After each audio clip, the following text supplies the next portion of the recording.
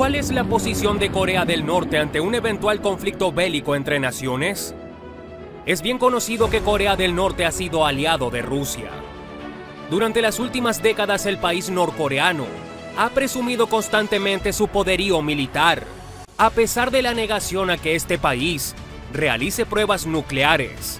El gobierno del mandatario Kim Jong-un ha continuado con las pruebas nucleares en el mar. Los norcoreanos han reafirmado su postura de alianza con Rusia. El ministro exterior norcoreano confirmó el apoyo de su país hacia Rusia, en cuyo discurso acusó categóricamente a Estados Unidos de ser el culpable del conflicto actual entre Rusia y Ucrania, alegando que la invasión de Rusia a Ucrania es causada por la arbitrariedad y política hegemónica del país occidental. Asimismo, el miembro del gabinete norcoreano insistió en responsabilizar a Estados Unidos por el ataque de Rusia a Ucrania, acusando al país americano de poner en riesgo la soberanía de Rusia. Y es curioso que el mismo día que se emitió ese discurso, Corea realizó el lanzamiento de un misil, que fue para muchos una señal de advertencia. Está claro que el apoyo de Corea del Norte para Rusia lo continúa teniendo. Un apoyo más que diplomático. Hay que recordar que en el año 2005, la comunidad internacional reprobó a Pyongyang por la proclamación de su país como potencia nuclear y salida del Tratado de No Proliferación Nuclear. Y no es presumible que esa alianza se quiebre en el futuro cercano. La relación Rusia-Corea del Norte tiene una consolidación de varias décadas. Rusia renunció al 90% de una deuda de 11 millones de dólares que el país asiático tenía con ellos. El otro 10% lo podían cancelar durante los próximos 20 años, con la condición de que el dinero se utilizara para financiar proyectos mutuos. Cabe mencionar que después de la India, Israel y Pakistán, Corea del Norte es el cuarto país que tiene bombas nucleares. Entre la última actualización de su arsenal, se destaca lo siguiente.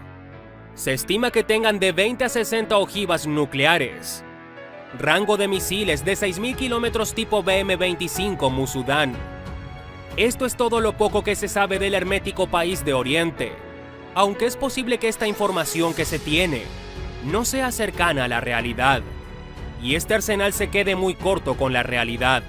Un país muy pequeño que podría hacer mucho daño.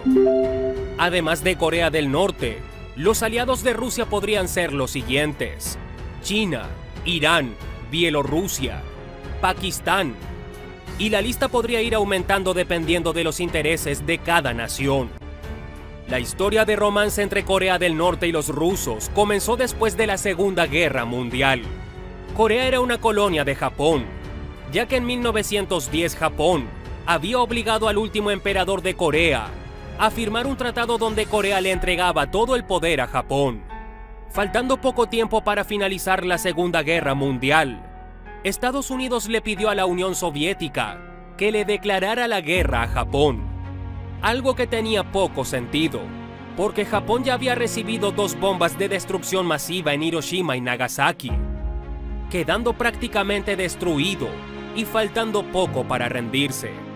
Sin embargo, la Unión Soviética ya se había metido en parte de Japón y en Corea del Norte. Para ese entonces Corea no estaba dividida y aún pertenecía a Japón.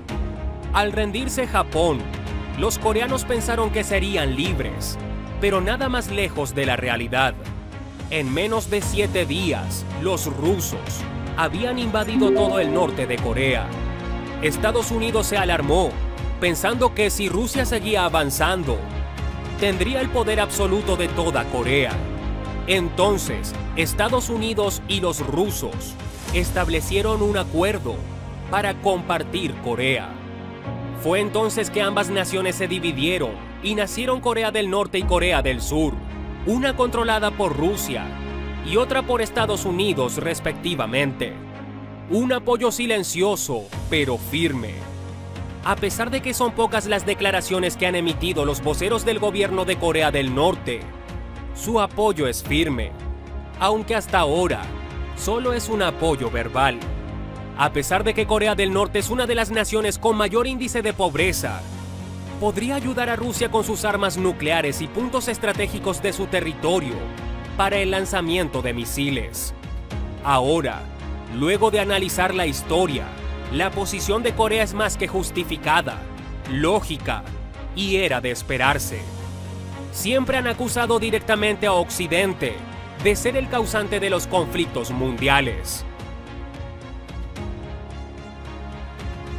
Como siempre, déjanos saber cuál es tu opinión al respecto. Gracias por suscribirte y activar las notificaciones.